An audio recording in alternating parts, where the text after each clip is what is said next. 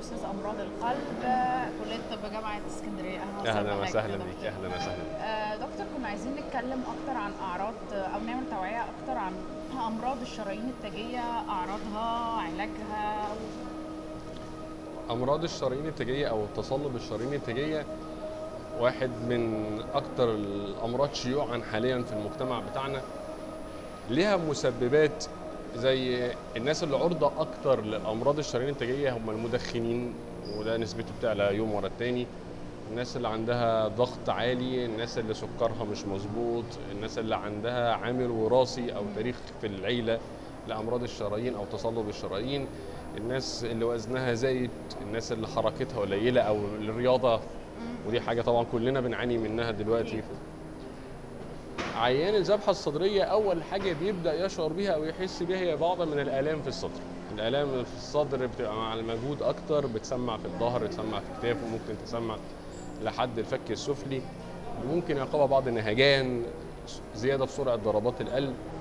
المهم في في مريض في الناس دي إن لو حصل إن الألم اللي بيحصل في الصدر زاد عن ربع ساعة لازم على طول يروح لأقرب مستشفى ليه علشان خاطر حد من دكاترة الاستقبال ثم دكتور القلب يبص عليه نعمل رسم قلب ولو احتاج لحاجة أكتر من كده تتعمل.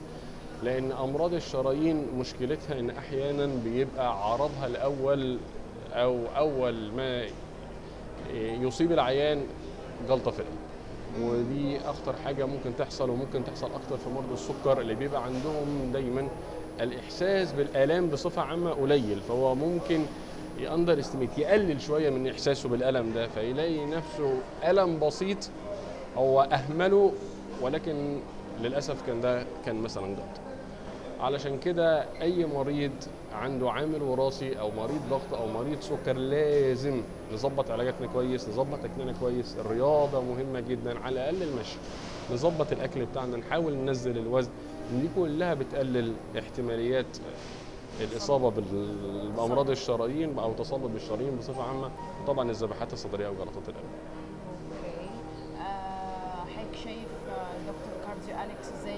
ممكن يساهم في ارتفاع الأداء الطبي الاطباء في مصر؟ كارديو أليكس مؤتمر يعني هو مؤتمر عالمي هو أكبر مؤتمر للقلب في الشرق الأوسط يضاهي مؤتمرات أوروبا وأمريكا. في كل العلم آه، الحديث اللي وصل اللي وصل له العالم. علشان كده أي طبيب سواء قلب أو غير قلب بيحضر المؤتمر ده بيبقى ملم بكل ما هو جديد في العالم. وده طبعا بيأثر على سرعة تشخيص المريض سرعة علاج المريض تحس... العلاج الأفضل التوعية الأفضل. لأن أحيانا الوقاية والتوعية بتبقى أفضل لأن إحنا نمنع حدوث الأمراض. ده دلوقتي ترند موجود في العالم كله. إن إحنا ما نستناش إن الراجل ده يتعب. أو العيان ده يحصل له إحنا من الأول بنحاول نمنع عن الكلام ده. دكتور هو هل تناول الاسبرين يوميا ممكن يمنع النوبات القلبية؟ مش كل واحد هياخد أسبرين يوميا. ده في ناس هي اللي نقدر نقول هم ملائمين لذلك. الناس الكبار في السن الناس اللي عندها تصلب في الشرايين الناس آه، اللي عندها سكر مش مظبوط. الناس دي آه لو اخذت ده بيقلل احتماليات حدوث الجلطات ولكن أحيانا بنشوف مرضى بياخدوا أسبرين وبيحصل لهم برضو جلطات لأن الفكرة كلها إن أنت يعني إلى أي مدى وصل تصلب الشرايين عندك؟ علشان خاطر الأسبرين يبقى لوحده كافي. الأسبرين لوحده مش كافي. عشان كده أنت لازم تستشير طبيبك علشان لو فعلا حصل تصرف في الشرايين أنت محتاج مش بس تاخد أسبرين أنت محتاج تاخد أدوية تانية زي أدوية الكوليسترول مثلا حفاظا على الشرايين. هتقلل حدوث الجلطات هتقلل الذبحات هتقلل الأزمات.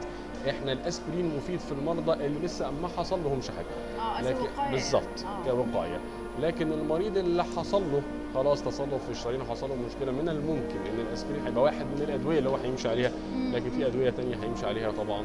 علشان كده لابد من استشارة الطبيب قبل حتى ما okay merci جدا لحضرتك شكر ليكي جدا. واتشرفنا باللقاء الشرف ليا. أهلا وسهلا. بيك ميرسي متشكر